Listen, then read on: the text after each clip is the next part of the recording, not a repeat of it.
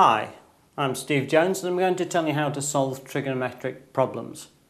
Well, the first thing we have to understand is that it's all based on right angle triangles. We've got a right angle triangle here, side adjacent to the angle 30 degrees, opposite to the angle 30 degrees, and the hypotenuse of the right angle triangle, which is opposite the right angle. Okay, we're using the angle of 30 degrees because we know sine 30 degrees is an easy one. It is in fact 0.5. So if we actually want to solve a problem, if we know the length of the hypotenuse, for example, let's this hypotenuse be uh, 3 centimeters. We don't know the length of this side, we don't know the length of that side, but we don't have to because in a right angle triangle they are fixed. We would therefore say that sine 30 degrees is equal to the length of the side opposite, just write that as op, divided by the hypotenuse over hype. Right?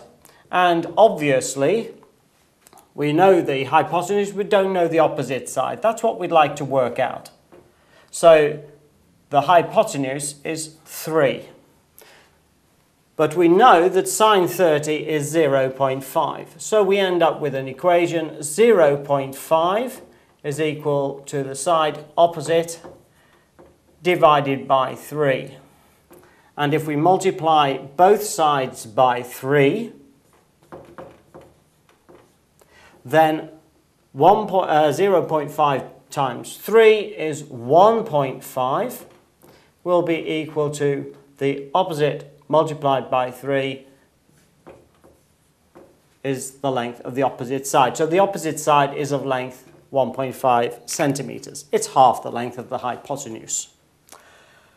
Now that is a simple right angle triangle and we can work out the other values. But remember we have three different functions. We have a sine function, a cosine function and a tangent. Cosine is the adjacent, the length of the adjacent side divided by the hypotenuse. And the tangent is the opposite over the adjacent. So for a right angle triangle, once we have a length of the hypotenuse and an angle, we can work out the lengths of any of the other sides using these formulae and relations. Where do we get the actual numbers for a sine? Well, if you look on your calculator, you put in the number 30 and press the sine, it'll give you 0.5. It'll tell you what the value is. If you put in 45, you'll get a different value. So you can work out the value that way.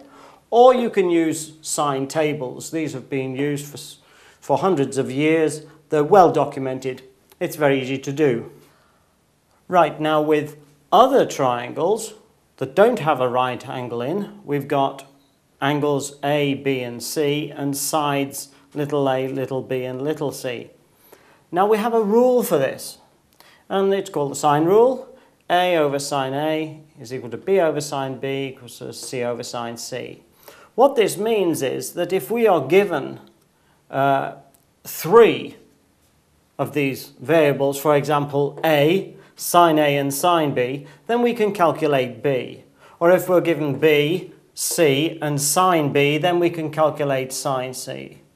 So what it enables us to do is within this particular uh, system with any triangle, we can work out uh, the length of a side or the angle, providing we have the opposite sides or the angles associated with those sides. So this in brief is how to solve trigonometric, trigonometric problems.